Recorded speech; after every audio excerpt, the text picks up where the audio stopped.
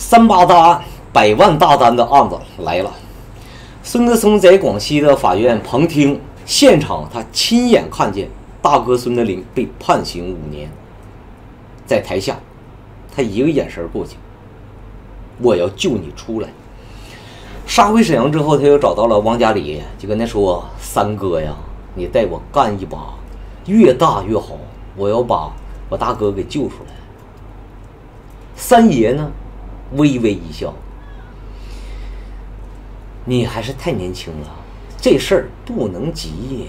啥玩意儿啊？一出手就干一个大的，跟你哥一样。明天，哥带你先搞一个十几万的单子，打打牙祭。他主打的就是一个临时作案啊，随机应变，不用设计，整那些没用的干啥？走，东北汽车交易市场。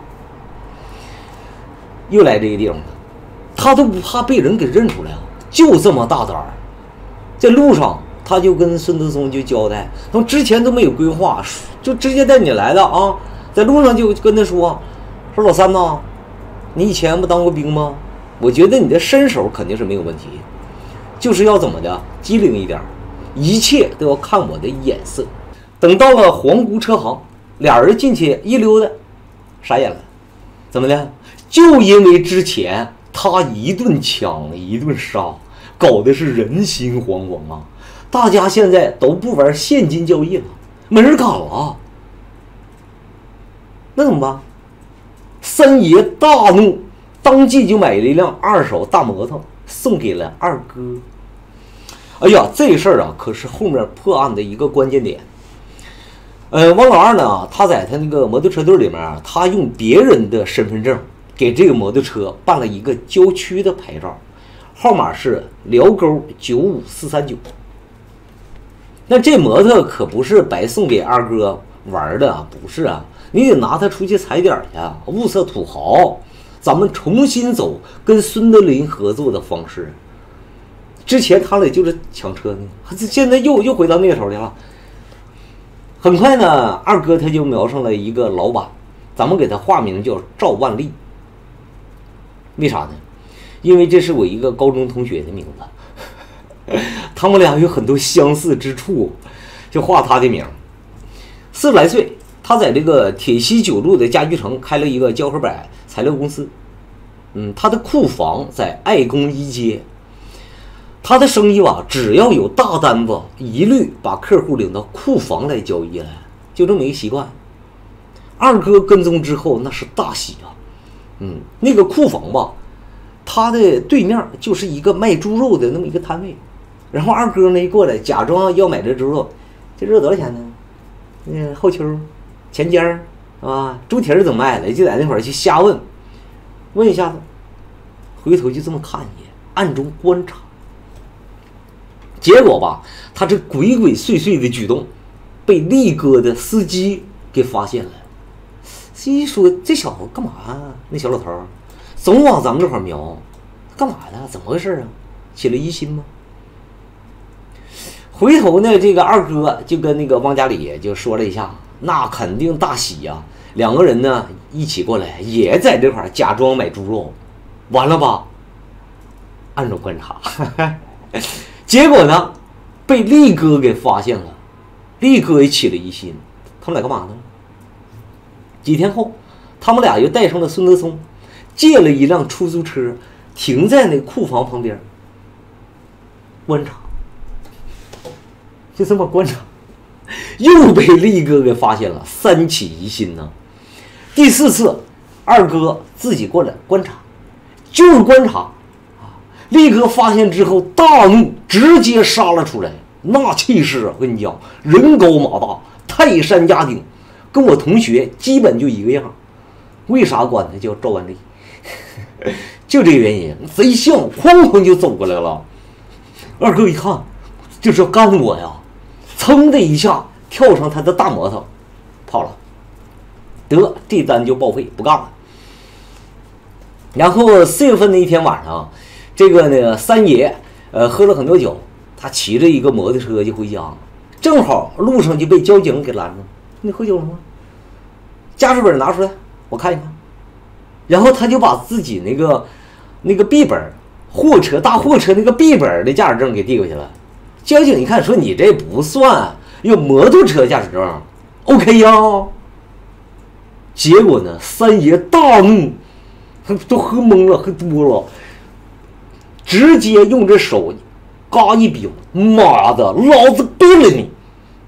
就这个。然后呢，他就被带进去，拘留七天。这七天就拘留，当时给那俩小吓坏了，他不知道因为啥进去的啊。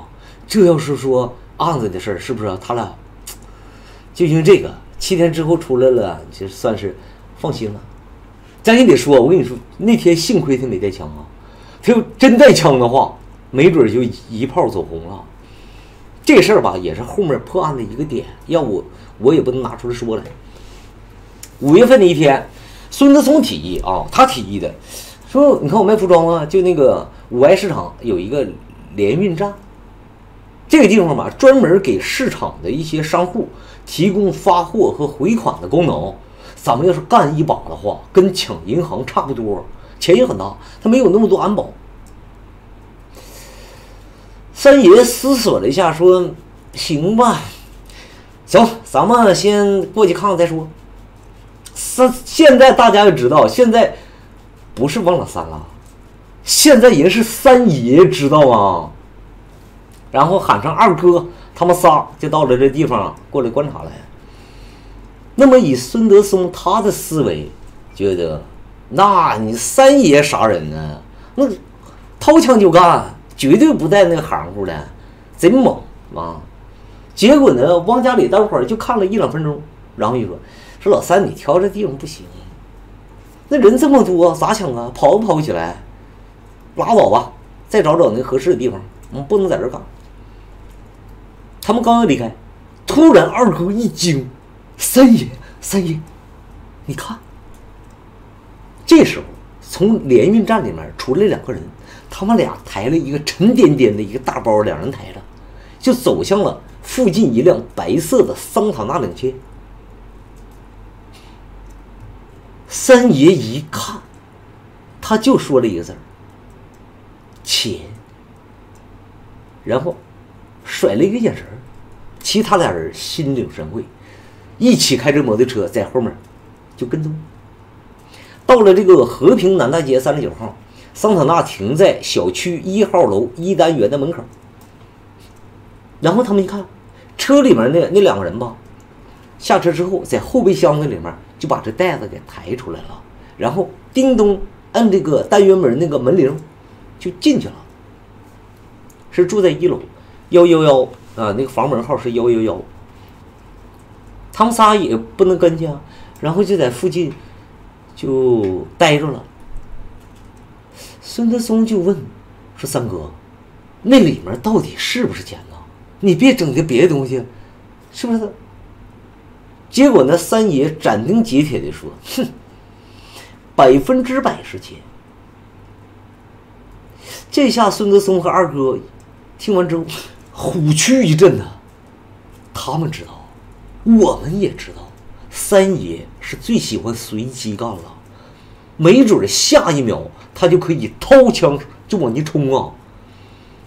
那么呢，汪家里确实也这么想的，啊，他他那时候特别就想下令，就直接马上进去，全干死，一个不剩，全干死就完事儿，进屋。不管你啥男男女老少，啪啪打死就完事儿。他那时候特别想这么干，就那手都枪都摸着，马上往出掏了。然后他还是恢复了这个冷静。大家不要那个看错了三爷，是吧？你觉得前面他干的就就是一点智商都没有？你想想，凭借他这二十年社会工作呀，再加上十年抢劫的经验。没那么糊，他是有一些头脑的。别看他随机决定，就为经验太丰富了。你就这么一看，就知道这事儿能不能干。他在那块思索了好几分钟，然后开始下旨：“我说咱们就在这块等啊，如果一会儿他们再把这个袋子抬出来，我就负责上去把人打死，然后二哥负责拿钱，老三做掩护。”嗯。，Yes 二将得令，准备完毕，就等着出来就就干他啊！仨人就就这么临时调了。结果一直等到了晚上，人没出来，那怎么办呢？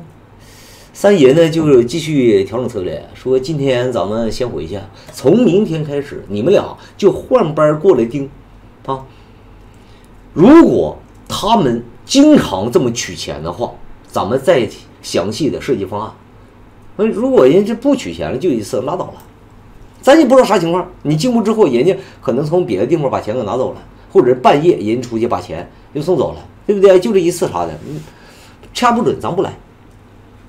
他没有那么冲动，其实他当时要冲进去就妥了，没有啊。后来吧，就费了太多的劲了，就也开始玩那啥，玩保守了。不行，对于王家里来讲，这三爷来讲，你就该实惠的，就不想那些，看见你就直接敲门进去，咔咔打死就完事儿。他没那么干。从第二天开始，孙德松和二哥呢，两个人就分别在小区和那个联运站，两个人分别盯守。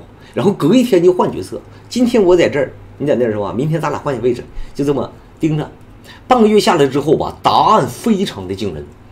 这个桑塔纳的人，基本上两天就会去银行一次。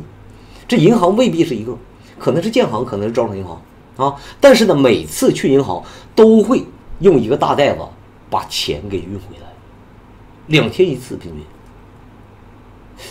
我靠！这下给他们全都整不会了，什么意思啊？你家是银行金库吗？我他们到底是干嘛的？啊累死他们也猜不出来。这个住户里面的人是干啥的？玩股票的。一九九九年五月十九日，咱们的 A 股爆发了一轮超级大行情。大盘在一个多月的时间暴涨百分之七十，很多股票都翻了好几倍。这户人家的主人他姓张，咱们给他化名叫张万里啊。当年四十九岁，他就联络了好几个朋友，把他家当成一个工作室，干啥？玩游资。人家是游资，所以说汪家里他们这次掏上了一个大客户啊。虽然说。他们猜不着是干啥的，咋猜都猜不着，就不知道。但是后来一想，你管他干啥呢？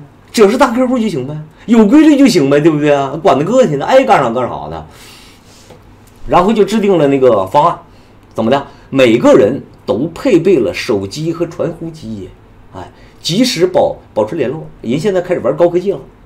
然后二哥负责那个去银行跟踪去，哎，确定了就是说他们在银行里。取钱之后吧，就用这个手机给打传呼通知另外两个人。完了呢，孙德松他负责在小区门口盯着，看见那桑塔纳离老远过来之后，他也通知另外两个人说过来了。然后呢，他火速的会跑去那个单元门的门口，跟三爷会合。嗯，等到这个桑塔纳开到单元门口的时候，一单元一一号楼一单元哈，开那之后呢，他俩就冲过去。把开枪把人给打死，这时候二哥不骑着摩托也过来了吗？然后三个人就分工拿钱跑跑路。看起来这个方案非常的清晰明确，大家也都会觉得轻松加愉快，是不是？没什么难度。可是呢，他们竟然用了四个月时间。这个问题呢，就出在二哥身上，因为这货实在是太拉胯了。不是一般的拉胯。六月初的时候，他们就第一次出手，觉得这一出手，这一次马上就会成了。结果呢，二哥去跟踪去，看这桑塔纳出来了，他就骑摩托在后面跟踪。不大一会儿，他又回来了，跟人说：“不好意思，我给跟丢了，没跟住。”你说你你骑摩托怎么能让一个一车就能跟不住？嗯，车可能说还那啥的，你摩托车还有有钻。钻空还可以，对不对啊？你要开车跟丢了也勉强说得过去的。摩托车进来那那个跟丢了，那没办法，隔几天吧，呃，再次启动。这回呢，二哥跟踪到了银行，人家那个桑塔纳人进去银行去了，然后他就在在那外面站着，嗯，他就看见这银行里出来了别人哈，不是那个桑塔纳的人，别人也拿了个包，里面装了不少东西。然后他特别感兴趣，他就猜说，这小子包里面是不是也取了很多钱呢？你说你管人家干嘛？他不的，他就对人那小子产生了兴趣，然后他就过来，就在这块转悠。正好听着银行的工作人员在那说，说最近怎么有不少人在这块大量的倒卖国库券呢？就说了这么一嘴，然后你猜咋的？他就自己就决定了，他就赶紧骑着摩托车跑回来，就报告三爷：“哎呀，那些就别整了，啊，他们今天是取国库券的。”三爷听了之后说：“你给我讲讲到底怎么回事？”他就把这过程一讲，那家伙把那个王老三给气的。你你你干啥呢？你也没亲眼看见，你就自己瞎猜呀？你就听银行工作的人说这几天有人在买大量的国库券，你就猜是这桑塔纳的人今天去取国库券呀？啊？那可给老三气完了。这事儿要泡汤了吗？几天后呢？这个二哥又去跟踪去了，这回他是确认了，呃，桑塔纳的人老张他们真的取了一大包钱回来。然后他就开始尾随，尾随的过程中拿手机打那个传呼啊，传谁谁谁，给那个孙德松和三爷都发了信息，五五五三个五，就代表就说到位了。结果呢，发完信息之后吧，他开着摩托车，突然桑塔纳一下拐个弯，没从之前的那路线走，去别地方了。二哥一下就大惊了，赶紧杀回来汇报来。他就怎么说呀？他说不行啊，这个桑塔纳去了别的地方，今天不回来了。他就自己猜，就人今天不回来了。老三他一听说，那就撤吧，是不是？然后他们刚出这个小区大门口的时候，就碰见那桑塔纳回来了。然后他们赶紧跟进去一看，眼睁睁的瞅着人家从桑塔纳里抬着那一大袋子钱，就回了屋里面。这下把三爷都给气疯了，当时他指着这个二哥呀，指他鼻子就破口大骂：“翁老二，你要不是我二哥，我一枪打死你！”可是二哥呢，振振有词：“三爷，你急什么呀？我我这不是为了安全吗？你说咱也不差这一次，也没损失什么，做一把咱必须得稳妥，是不是？”但是呢，三爷开始重新部署，把这个二哥和那个孙德松俩人换了位置。你别跟踪了，你整不明白，你就在小区门口就瞅着得了。桑塔纳过来之后，你就发信息，这你会不会？完了赶紧边发信息边那个跑过来，让他干这活。几天之后吧，这个孙德松去跟踪去，很快就呃发回了三个五的信息。接着呢，二哥在这小区门口也看到桑塔纳过来了。然后他就发了三个八的信息给这俩人，就证明这桑塔纳已经快到门口，我看见了。那这时候在单元门口准备的那个汪家里，马上枪咔咔就准备好了，随时开干了。可是等这桑塔纳开到了汪家里前面的时候，孙德松和二哥都不见人影。这俩小子就是没过来，那他自己他没法下手啊。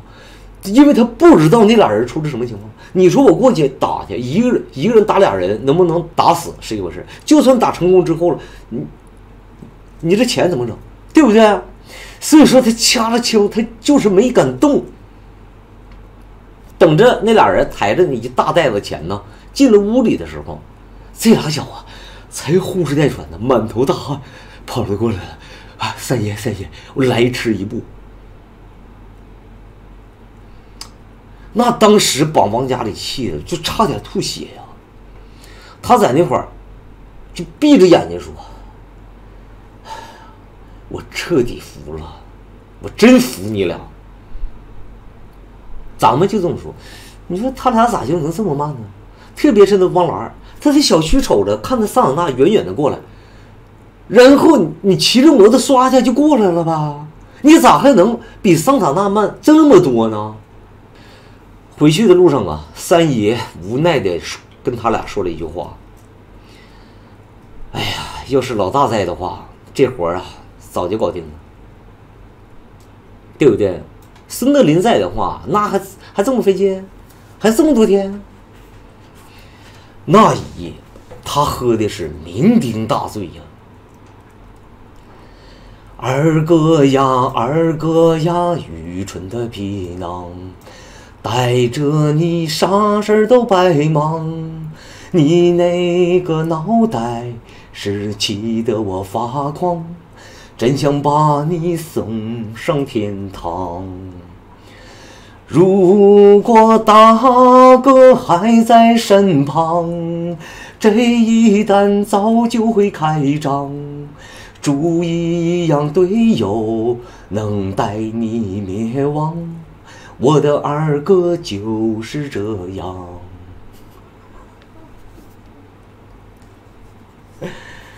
话是这么说，但你不能把二哥真给崩了呀。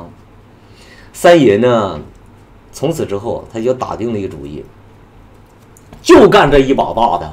以后咱洗手不玩了，有二哥在，早晚得出事可是二哥没当回事儿，人家啊咋的？我都做这么多年案子了，怎么可能出事儿啊？嗯，他就天天跑那小区门口，人就过去就在那就盯着，就看，不戴口罩，也不需要戴，人压根儿就觉得觉得不需要戴那玩意儿，戴那干啥啊？说旁边有个修自行车的老头儿，成天看着他，人家不在乎，不，老头子就你看见我了，又能如何呀？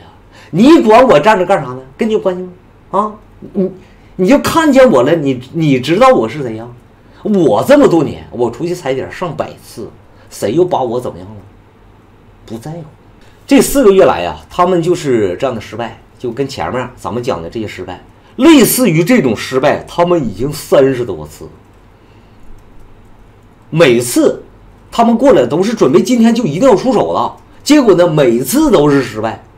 所以说他们三个都麻木了，然后吧，呃，再再过来呢，就跟上班的一样，那就过来报道了，都已经成家常便饭了。出意外，回去，过两天再来，就这样，养成习惯。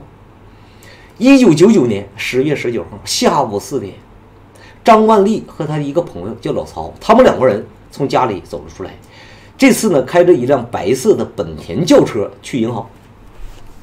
然后吧，这次是二哥进行跟踪，呃，到了这个建设银行和平支行停下。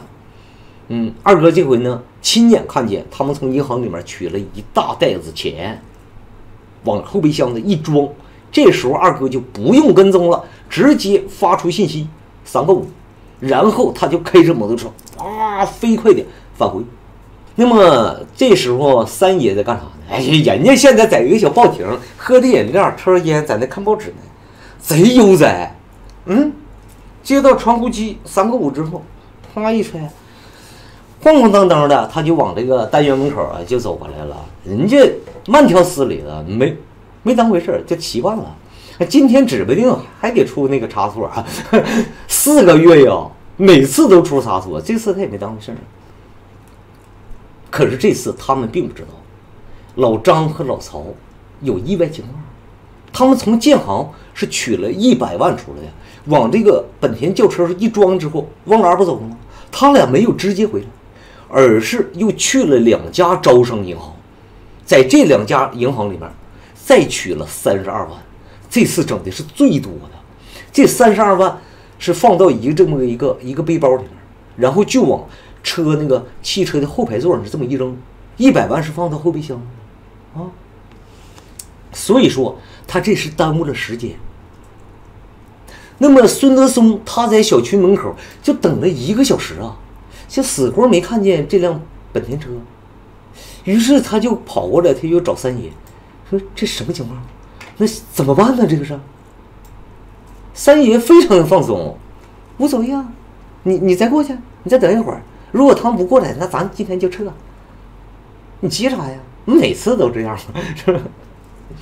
大约晚上六点，这天色已经放黑了。孙德松他刚要走，突然看见，我天，这个本田车徐徐的开了过来，然后他就一边跑一边用这手机给三爷直接打电话，告诉：“三哥，他们回来了，准备开壳。”俩人一见面之后，这个。三爷啪掏出那支手枪给孙德松，然后他们俩是分头，孙德松是去这个单元门的对面，在一棵那个树在那块儿，就这么藏着。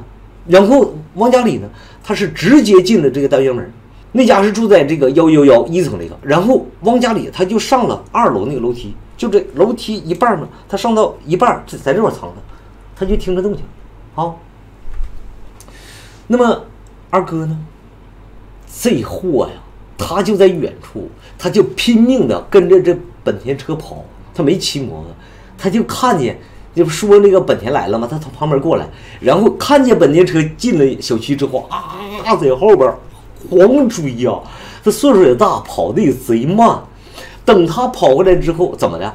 这个本田轿车已经停在那单元门口了。这时候呢，那谁呢？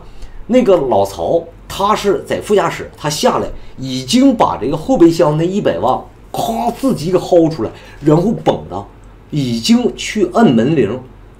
进了这单元门了，就汪汪家人过来一看，这个这小子绷着那一百万，前脚刚进那个单元门，然后他就赶紧就往过冲吧。那么这时候咱们也得说，在里面藏着那个那个三爷了。这三爷他听着，嗯，一听，咵嚓一下子门开进了，他赶紧从这个二楼这个楼梯往下。这时候吧，过去一敲门。里面门马上就开了，开门的是谁呢？是老张张万利，他的老婆。这门一打开，就这时候，汪家里已经到了这个老曹他的身后，对着他后腰啪嚓就一枪，直接打死。然后这个老曹他的尸体一下就栽倒在这个屋里面了。这门不已经开了，栽倒进去了。就在这时候，二哥也冲进了这个这个单元门，蹭蹭两步就来到了这跟前。一看倒下了，哦耶！这咵嚓把那钱袋子啊就给抱下来了，然后他就往出跑。那么这块就得暂停一下了啊，咱们还得说说门外。门外这个老曹他刚进楼道的时候，这时候呢老张是从驾驶位下来的，他是走到了这后门。就这时候呢。就他刚从驾驶位下来的时候，这时候二哥也到了，他都没当回事，二哥也跟去了。这老张从驾驶位一下来，然后到这后门过来，他怎么的？他准备拿那三十二万，就在手刚一摸那个后门把手的时候，啪嚓，里面响了一枪。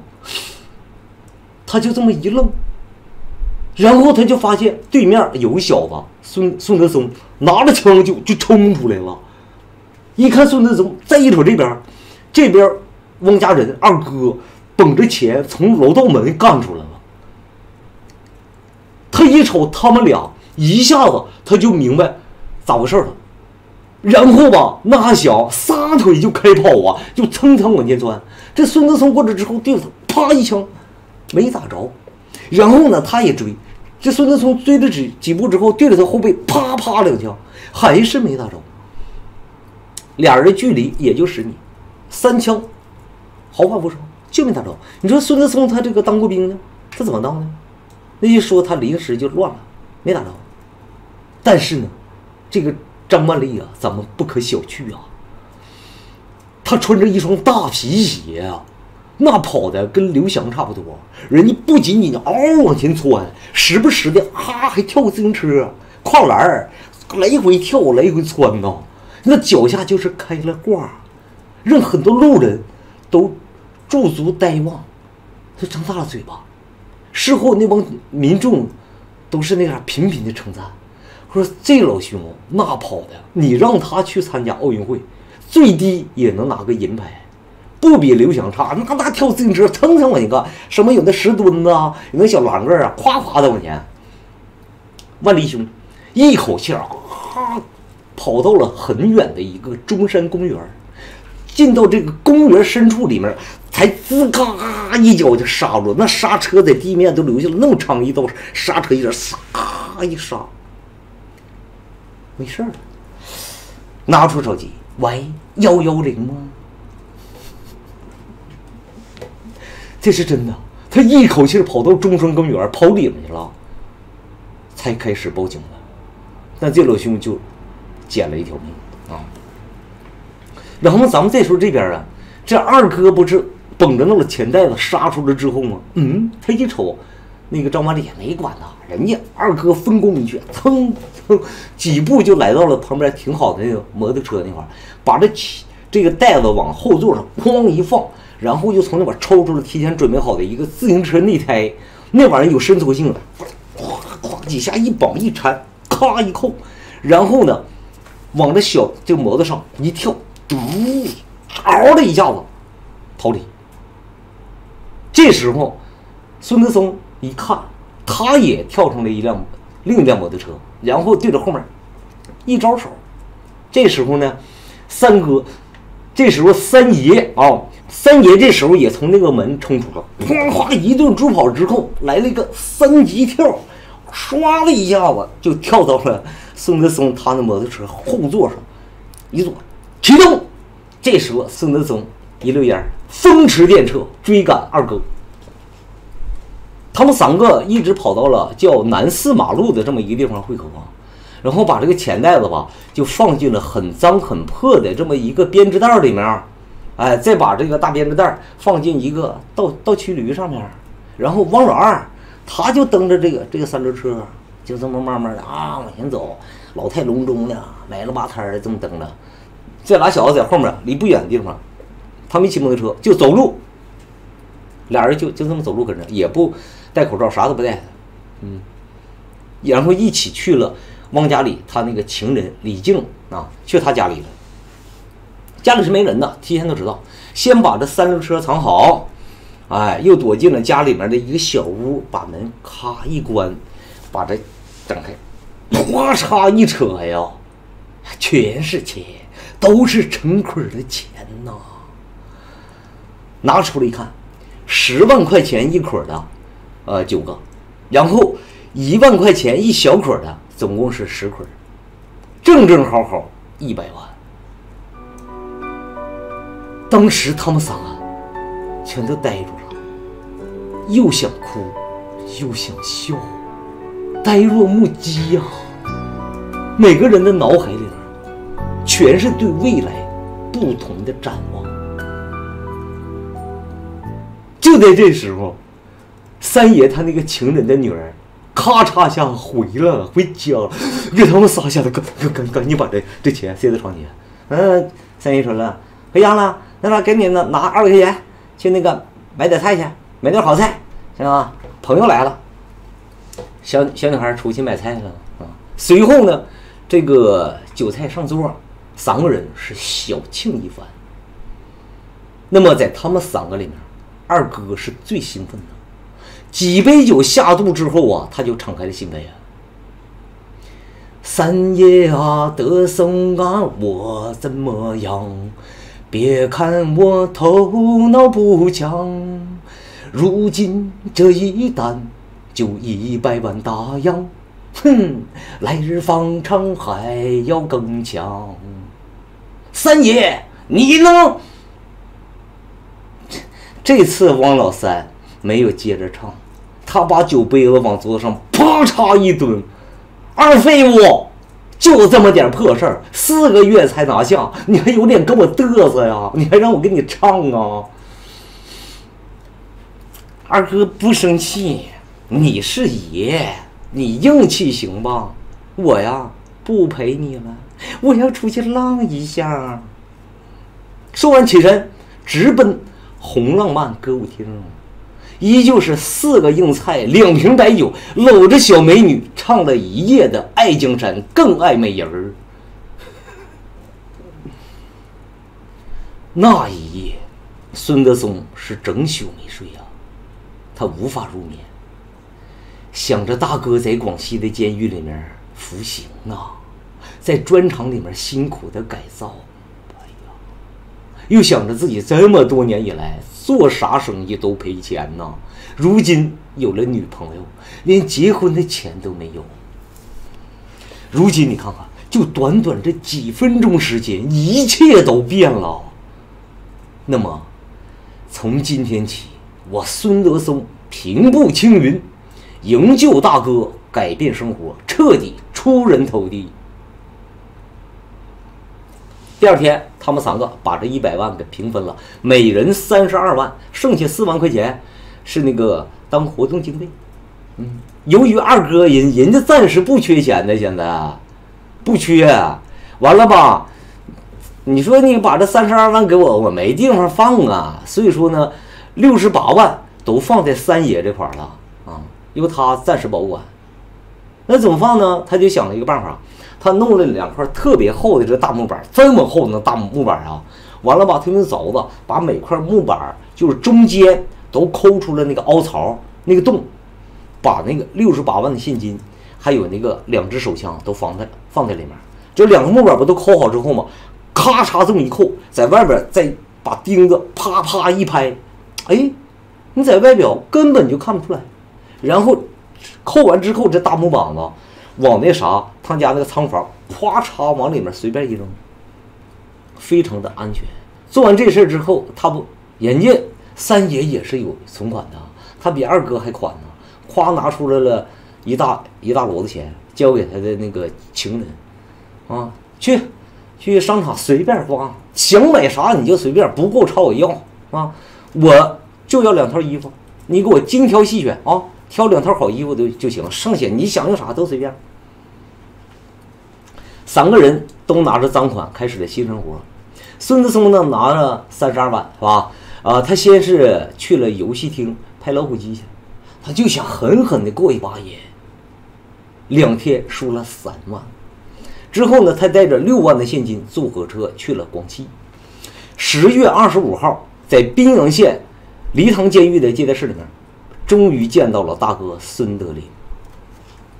得知他们三个做了这么一个案子之后，当时孙德林就预感又出事儿。